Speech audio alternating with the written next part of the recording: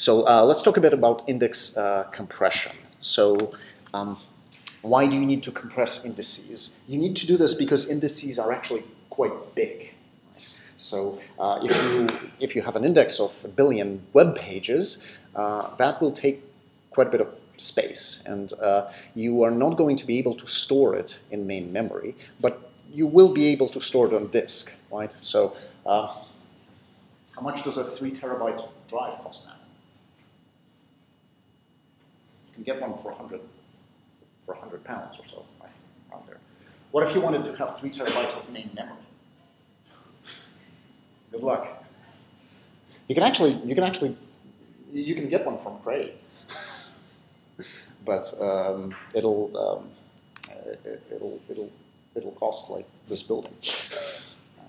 so, um, so the point is, disk is really, really cheap, and if you wanted to, you could go and buy a couple of hard drives and actually have enough space to store an equivalent of Google's index on your machine.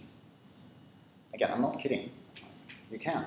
So you can easily put 10 terabytes into your, into your machine, and that will cover easily 10 billion pages, 20 billion pages. So on your, on your desktop computer, you can have an index sitting around. Um, now, what good is it on disk if you can't bring it all to memory? Uh, not much, and you can't bring it all to memory because you'll never have that much memory. Um, so any type of an algorithm that you do will have to get portions of an index into memory bit by bit. And for that, you need I.O., and I.O. is expensive. So the more you can compress your data, the better it is for you, because your memory is actually a lot faster, and your CPU is a lot faster than the interface to disk. So compression, which is usually an expensive thing, uh, doesn't really matter because you will offset it by lower costs of reading the data from disk.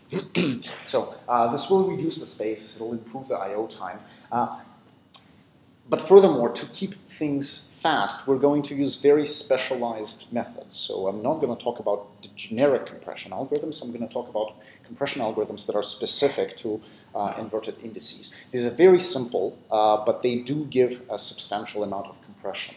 Um, the basic two, uh, there, there, are two basic ideas in compressing inverted lists. So um, our inverted lists typically consist of lots of numbers, and these are big numbers, and we talk about why they're big numbers. So we'll take those big numbers and make them smaller, and then once we have smaller numbers, we'll try to pack them into a smaller number of bits. So those are the two basic ideas.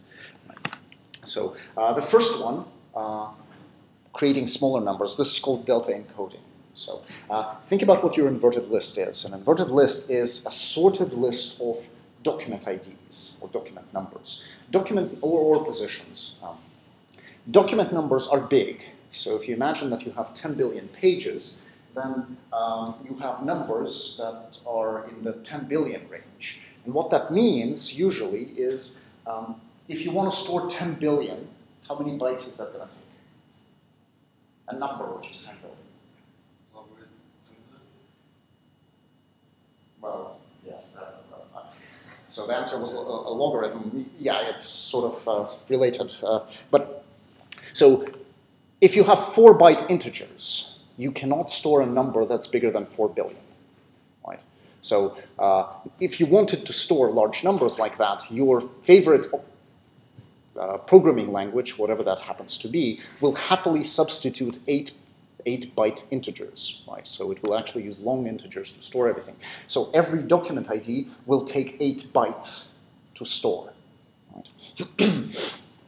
uh, and that quickly adds up because when you have these uh, inverted indices with lots of big numbers, uh, every number now takes eight bytes to store. That adds up to uh, quite, quite, quite big storage requirements.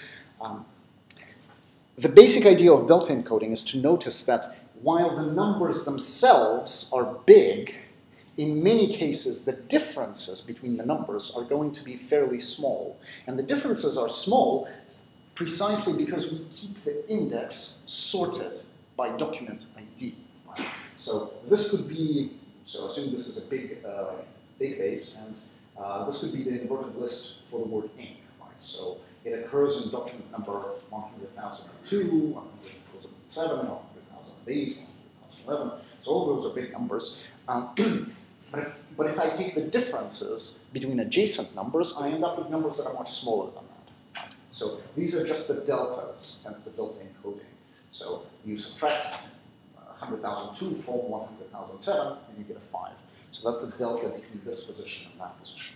And um, by doing this repeatedly, you can replace the entire inverted, uh, inverted index with, um, with, uh, with the deltas of occurrences. This, is, uh, this doesn't work very well for infrequent words, but it does work miraculously for frequent ones, right? So words that tend to occur all over the place uh, will the differences between subsequent document IDs will be small, so you will get small numbers.